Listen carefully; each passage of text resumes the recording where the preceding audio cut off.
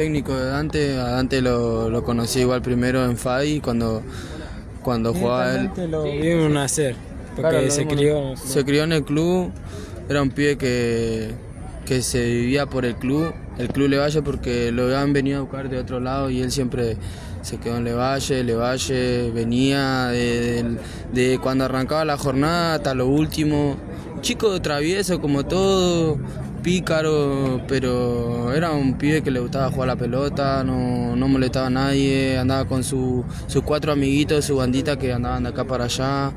Eh, la verdad que nada, por eso hay- hoy está toda la gente reunida, muchísima gente eh, la que él lo quería y, y por eso logró esto. Así que nada, nosotros estamos acá pidiendo justicia, que salga toda la luz y que el supuesto asesino se entregue, que la pague, que eso es lo que queremos todos.